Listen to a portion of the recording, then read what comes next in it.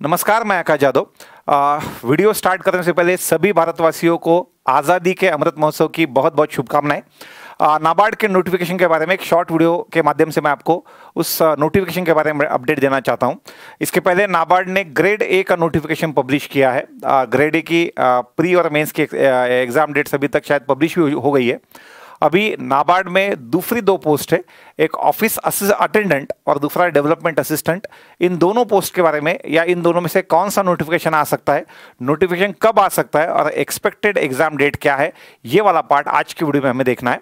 आ, उसके पहले एक छोटी सी अनाउंसमेंट थी आ, अपने जितने भी कोर्सेस है अभी हिंदी में इधर कर्नाटका बैंक क्लर्क और दूसरा निखिल सर की जो ब्रह्मास्त्र की बैचेस है जो बेसिकली फाइनेंशियल अवेयरनेस वाला पार्ट कंडक्ट कर, कवर कराती है वो दोनों भी बैचेस अभी आई प्रथम ऐप पे अवेलेबल है, जिसके ऊपर फोर्टीन टू सेवनटीन इन दो डेट्स के दौरान आपको इंडिया 75 ये कोड यूज़ करके 40 परसेंट डिस्काउंट आप ले सकते हो। नाबार्ड का नोटिफिकेशन जो अभी तक ग्रेड ए का आया है, आगे आने वाला नोटिफिकेशन आइदर डेवलपमेंट असिस्टेंट या ऑफ़िस अटेंडेंट दोनों में से एक पोस्ट के लिए आ सकता है।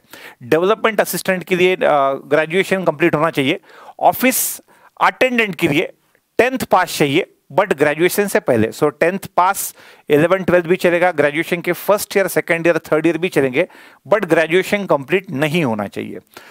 नोटिफिकेशन एक्सपेक्टेड है मैक्सिमम अभी अगस्त सेकेंड वीक से लेके सितंबर के सेकेंड वीक तक मैक्सिमम सितंबर के सेकेंड वीक तक नोटिफिकेशन कभी भी आ सकता है और उसके एग्जामिनेशन एक्सपेक्टेड नवंबर के फ़र्स्ट वीक में।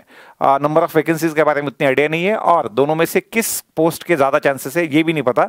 बट डेवलपमेंट असिस्टेंट और ऑफ़िस अटेंडेंट इन दोनों पोस्ट में से एक पोस्ट के लिए नोटिफिकेशन मैक्सिमम अप टू सितंबर के सेकेंड वीक तक और अगस्त का और नवंबर के फ़र्स्ट वीक में उसके एग्ज़ाम एक्सपेक्टेड है। धन्यवाद।